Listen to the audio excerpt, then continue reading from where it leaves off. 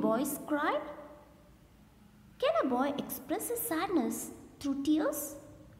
Let's find out. Rahul was excited. He was attending a writing workshop in school today. I'm so excited to learn how to write a story. This is going to be so much fun.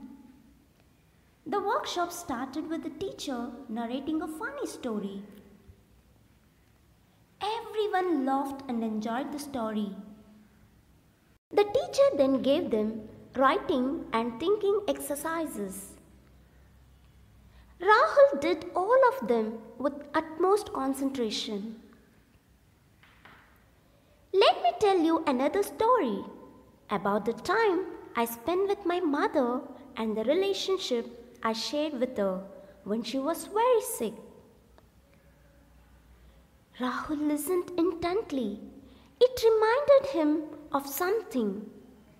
He felt an uneasy feeling in his stomach, as if a big ball had just dropped inside.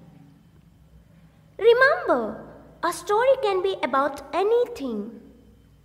Not every story needs to be funny. Now it's your turn. Write a few lines from your lives. A story that has stayed in your heart.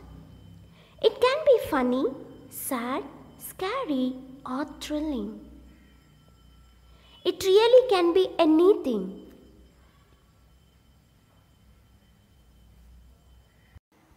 Rahul started thinking which incident should he write about?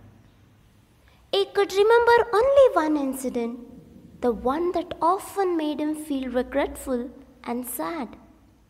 It felt like crying. But I am at school.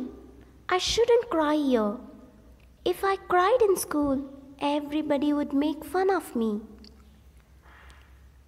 He struggled to think of something else to write about. Finally, he decided to write the story hoping that his teacher wouldn't ask him to read it aloud. Everyone began sharing their stories. Some were funny, some were silly. Rahul, why don't you read your story? Rahul was numb and nervous. He wanted to disappear from the class, but the teacher asked him again.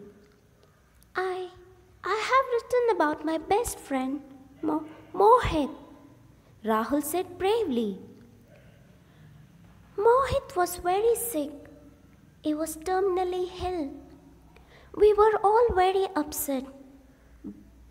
But I promised to visit him every day and keep him as cheerful as I could. Every evening after school, I would go to Mohit's house and tell him everything about school. And we would read together.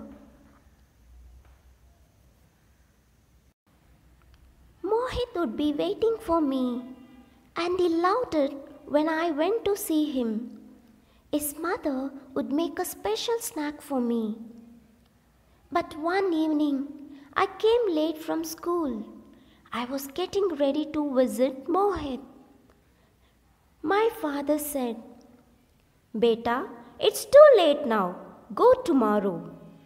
I insisted, but he was firm. I didn't go that evening.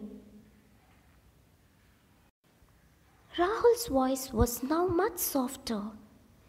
The next day, as I was getting ready for school, I got a message. My friend had moved on to another world. I was filled with regret for not having visited Mohit the previous evening. As Rahul read the last line, he couldn't hold back his tears. He broke down and burst into loud sobs. There was an uncomfortable silence in the room.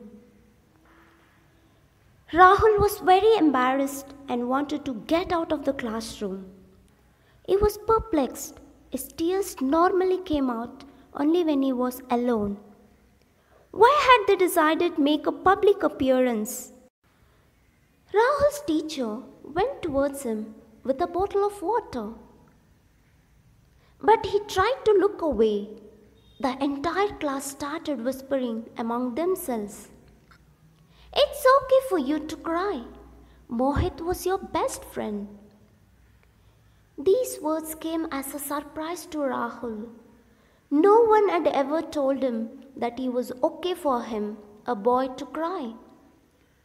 Slowly, his classmate who was sitting next to him offered Rahul a tissue.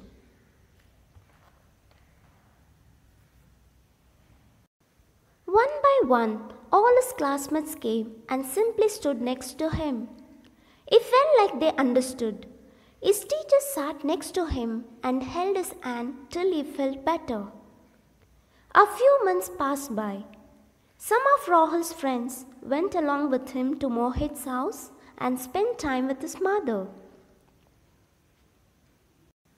And on this, when Mohit's mother and Rahul were unable to hold back their tears, Rahul was finally okay with it.